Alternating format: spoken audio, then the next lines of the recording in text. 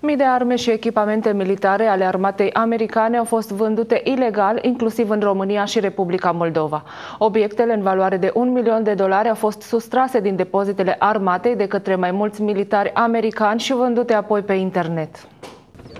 Șase soldați americani și doi civili au fost puși sub acuzare de către procurorii americani pentru că între anii 2013 și 2016 au furat sistematic echipamente militare din depozitele bazei militare Fort Campbell. Printre echipamentele sustrase de-a lungul anilor se numără piese de arme automate și lansatoare de grenade, lunete pentru puști, căști și veste antiglonți sau echipamente de comunicații care pot fi deosebit de periculoase dacă ajung în mâinile cui nu trebuie. Echipamentele militare ajungeau la doi civili care le vindeau pe internet unor cumpărători din Statele Unite, Rusia, China, România sau Republica Moldova. Two of the defendants in this case combined sold more than 1,600 items that included restricted Army equipment, weapons components, body armor, and sensitive communication equipment to buyers located within the United States and in foreign countries, including buyers in Russia, China, Hong Kong,